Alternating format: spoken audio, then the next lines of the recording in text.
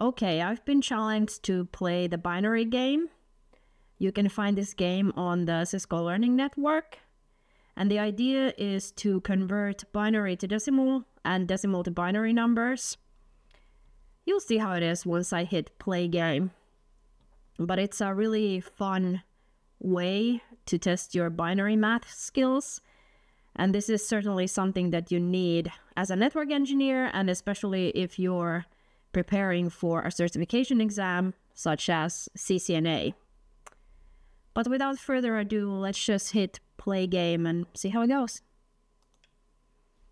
All right, I'm gonna turn the sound off actually, so it's not gonna bother us. So the idea is that uh, you have a number here and now you need to find the binary equivalent and at the lower levels, you have these guides here at the bottom that will help you greatly. But once you get to level 3 or so, they will disappear and you're on your own. And also, if you see the binary positions already, then you need to figure out what decimal number it co corresponds to. So here we have 9. Uh, that's a little bit tricky, but if you know subnet masks, you know that it's 148 or 248, I should say. Uh, see at the beginning, the numbers are fairly easy. And if you know binary, you should be able to complete them pretty quickly, but it gets difficult at the higher levels. Even here on the second level or so, like you're you're gonna be challenged. So let's see, how many do we have left? Oh, that was the last one for level one. So now level one is complete. So let's just move on to level two right away and see how that goes. Okay, so far so good. I think you get extra points if you are able to clear the board. So if you're fast enough, you can earn some extra points.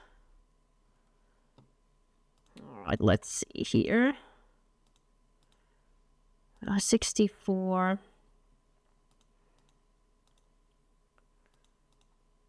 Okay. Sometimes you might have to strategize a little bit if you get more difficult numbers. But the game ends if you if the board gets full and you're unable to do the number conversions. You get a game over. So you don't have so much time to think. And one other thing um, I can show you shortly Oh, we completed level two. All right, let's just go to the next one. I think this is the last one where you still have the guides. Uh, 248. And you see the numbers keep repeating as well. You get many of the same numbers again and again. Uh, now I'm struggling a little bit. That is going to be 80. And here, so you see if I do pause, the numbers are going to disappear. So you won't be able to pull out a calculator and see what numbers you're supposed to be converting. So you need to know your binary numbers. Here we go.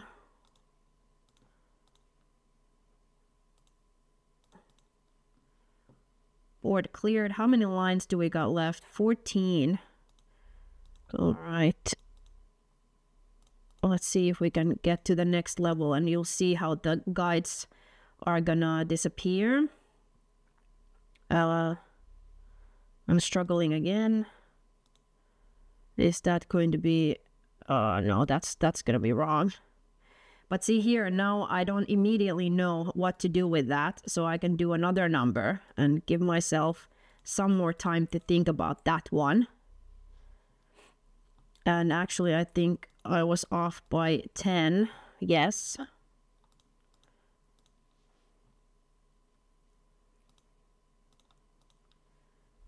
Okay, we have a few more lines. And then this level is complete.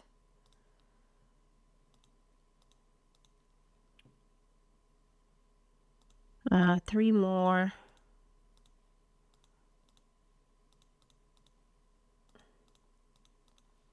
Here we go. Now you see it even gives you a warning that the guide numbers are gonna disappear. They will be deactivated from now on. So here's where you'll be really tested. Let's try it. Let's see how far we can go. Let's try it for a few lines at least. Uh, 46, uh, or sorry, 45. Uh, no, I'm messing up that one. See, now it's way more difficult because you don't see the guides here anymore. I think this is 25. Uh, this is going to be 131. I think this is 60. So you see, this one seems difficult for me, so I'm I'm leaving it here for a little bit and trying to avoid uh, that number. You can do that, but not infinitely. So it, it's a it's a bit tricky if you uh, take that approach. Okay, what do we got here then?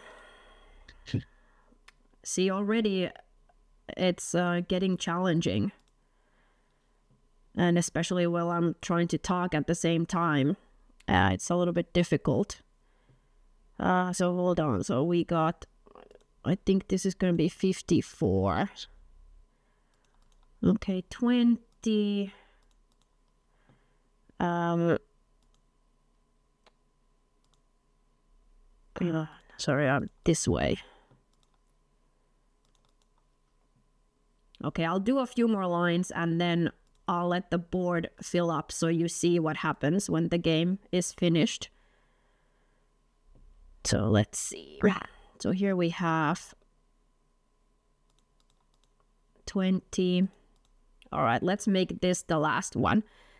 So now I'll just let it run. You'll see that the board will be filled with numbers and I'm getting distracted because I want to solve the numbers. Um, but yeah, I think the as you move to higher levels, uh, there will be even less time to convert the numbers. And here, actually, next, you should see that it's going to start blinking and it's going to give you kind of a warning that you're running out of time, like that. So here you can uh, still try to save yourself um, by completing these numbers quickly, but it's not very forgiving. All right, let's let it the timer run out. So here we go, game over. And uh, I already played one game before, so you can see my previous score from there. But yeah, that's how you play the binary game. I challenge you to play it and have fun. Let me know your scores. Uh, let's see if we can get a little bit of a competition going and maybe a leaderboard activated again. All right, have fun with the binary game.